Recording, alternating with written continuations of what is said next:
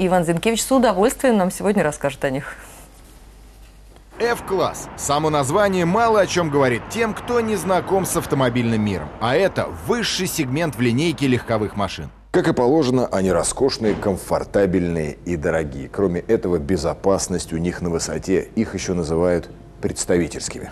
Конечно, они для вип-персон, политиков, бизнесменов, представителей шоу-бизнеса и даже королевских особ. Кузов только в одном варианте – седан. Машины данной группы подразумевают обязательное наличие водителя. Правда, бывают исключения, но об этом позже. Брендов, выпускающих такие автомобили, немного. Рассмотрим три модели F-сегмента, которые официально продаются в России. Начнем с Kia Quaris. Базовая комплектация называется Luxury. Боковые зеркала с автоматическим затемнением, навигационная система с возможностью воспроизведения видео, камера заднего вида с динамической линией разметки. Естественно, это кожаный салон. Минимальная стоимость автомобиля Kia Quaris составляет 2 миллиона 339 тысяч 900 рублей, максимальная 3 миллиона 299 тысяч 900 рублей. Удивительно скромная цена для такого автомобиля. Еще одна особенность – всего две комплектации, которые ничем нельзя дополнить. Кроме этого, только два двигателя, оба бензиновые, 364 и 422 лошади. Спорное решение. Может быть, у англичанина все по-другому. Jaguar XJ.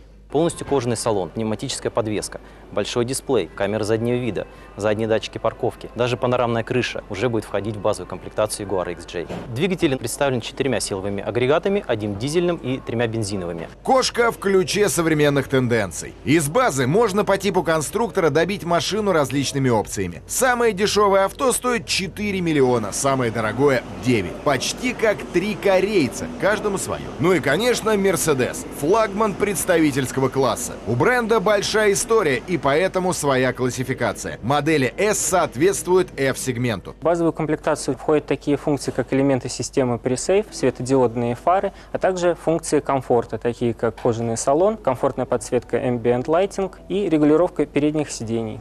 И это далеко не все. Стартовый вариант стоит почти 6 миллионов рублей. Чаще выбирают топ. Максимальная цена 16 миллионов. Теперь о некоторых наших странностях. В России владельцы таких авто часто сами за рулем. Объяснения этому у меня нет. Ни расход топлива, ни налоги, ни стоимость обслуживания здесь не имеют значения. Все наоборот. Чем выше цена, тем престижнее. Ну а дальше...